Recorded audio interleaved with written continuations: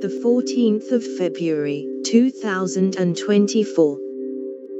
Ranking every NFL team from first to worst as the off-season begins. Kansas City reigns supreme, but who is poised to challenge the back-to-back Super Bowl champions?